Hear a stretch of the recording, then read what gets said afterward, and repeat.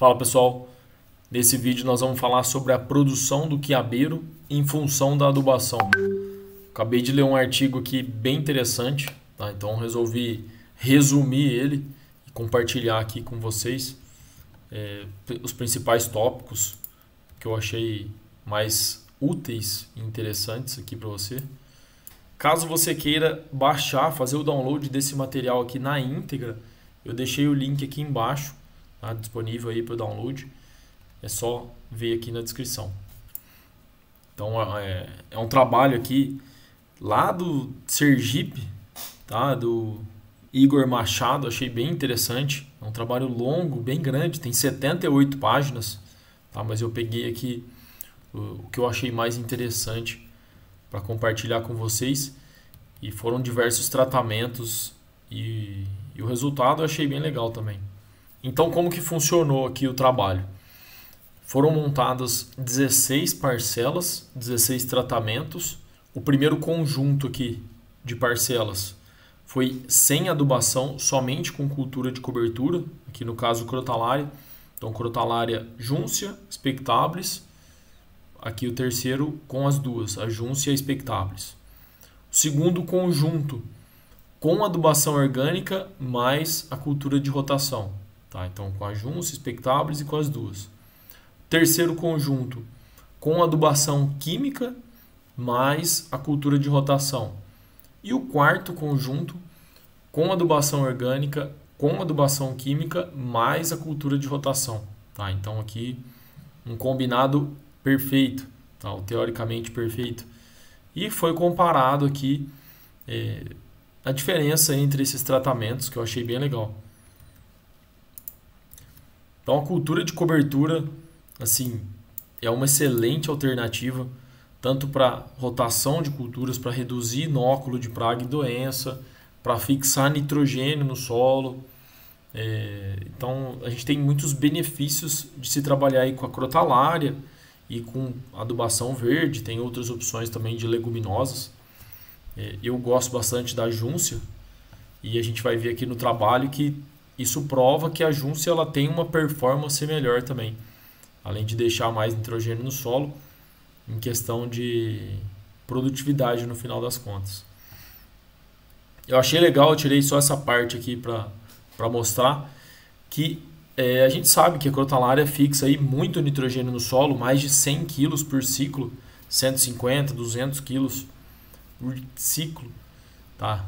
É, isso quilos de nitrogênio é, que são fixados ali no solo.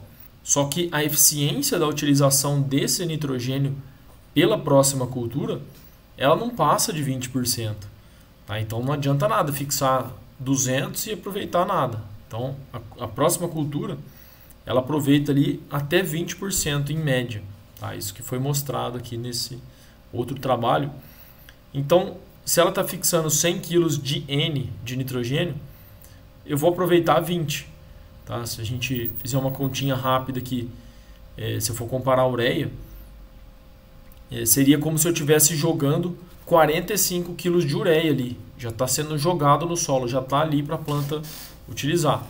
Então, é um número assim, de qualquer forma, é bem legal. Por isso que dá esse gás e a gente tem que tomar cuidado quando montar o programa nutricional da cultura depois de uma crotalária ou de uma leguminosa, tá? Para não, não errar aí no excesso de nitrogênio. Então, como que funcionou? Foram 16 parcelas montadas. O início do florescimento aqui da primeira parcela se deu aos 57 dias após o plantio e a primeira colheita aos 63 a variedade Santa Cruz. Foram plantadas é, seis sementes por cova, achei muita coisa. Depois foi feito o desbaste e deixado só duas sementes por cova. Então o ciclo aqui se deu dos 63 até os 107 dias. Eu achei um ciclo bem curto, tá? foram só 20 colheitas, dá para esticar bem mais. O experimento foi encerrado ali com 107 dias, é, não sei por qual motivo, tá? mas foi mais curto do que a gente consegue esticar normalmente. E durante, durante essas 20 colheitas aí foram observados o número de frutos, é, a quantidade ali, o peso por fruto, cada medida ali da planta, tudo foi avaliado nessas colheitas. Então aqui nós temos o resultado do trabalho, tá? o número de frutos por planta. Aqui tem os, uh, as legendas, tá? Tem muita informação. Então se você quiser pausar depois para olhar de forma mais detalhada, aqui os tratamentos, aqui embaixo tem o que, que é cada tratamento. Ó. Tratamento 1, testemunha, sem nada. Tratamento 2, só com a júncia. 3, com a expectáveis. 4, tananã. 5, a orgânica, tá? E assim sucessivamente. E aqui em cima, o N, número de frutos por planta, número de frutos comerciais por planta, NC. E aqui no final, a produtividade é, comercial né, do quiabeiro em diferentes tipos de adubação, sendo a maior delas o tratamento 14, que seria a adubação orgânica mais a adubação química mais a júncia. Tá? Faz todo sentido que aqui é uma combinação assim, top das galáxias. Né? Nós estamos com uma adubação orgânica, que tem tá, uma liberação de nutrientes de forma gradual, mais lenta, uma adubação química, que já é aquela pancada, uma liberação rápida ali de nutrientes para dar um gás na planta, e a cultura de rotação, a crotalária, que foi plantada antes, que deixou um nitrogênio no solo, deixou uma palhada. Então, assim, diversos benefícios combinados, era de se esperar que esse tratamento teria o melhor resultado. Mas eu sinceramente achei uma produtividade baixa de 10 toneladas. Isso pode ser explicado porque o ciclo foi muito curto, tá? 20 colheitas é muito pouco. Já mostrei aqui diversos resultados nossos e de alunos nossos também que passaram ali de 50 colheitas num ciclo e é possível se estender até mais. Então, talvez por isso a produtividade tão baixa aí de 10 toneladas. E essa última tabelinha aqui eu achei bem legal também. Se você quiser esse material aqui na íntegra, eu vou deixar o link aqui embaixo na descrição. Tá? É só você fazer o download aí, entrar, se cadastrar lá na Hotmart e fazer o download desse material.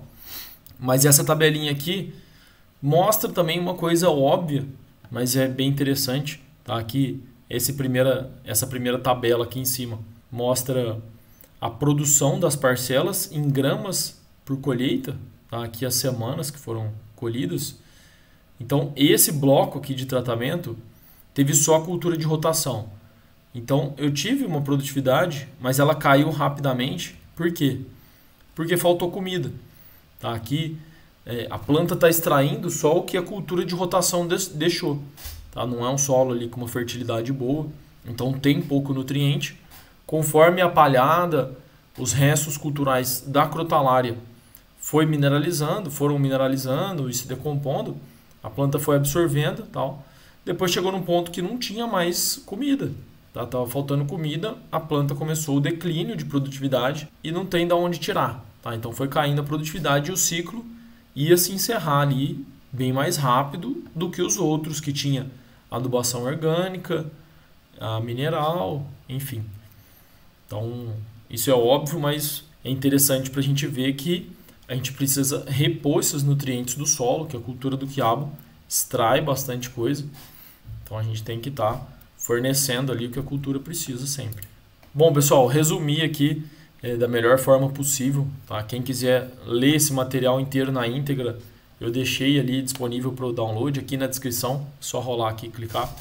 Caso você queira fazer parte da nossa comunidade de produtores, Tá? Você vai ser muito bem-vindo. A gente tem todas as recomendações técnicas ali disponíveis, suporte para dúvidas, um grupo de alunos produtores que a gente assim está crescendo junto, tá? Essa comunidade já estamos aí com mais de 600 produtores de quiabo na nossa comunidade, compartilhando ali rotinas, dicas, resultados. Então o pessoal aí interage bastante. A gente faz aulas ao vivo com frequência, tá? uma vez por mês, aí depende de acordo com a demanda, se o pessoal pede a gente faz com mais frequência. E diversas estratégias de comercialização também a gente aborda ali dentro. Tá? Então é, fica aí o convite, caso você queira trabalhar de forma profissional com essa cultura. Beleza? Bom, espero ter ajudado de alguma forma. Qualquer dúvida, manda aí nos comentários. Valeu, um abraço.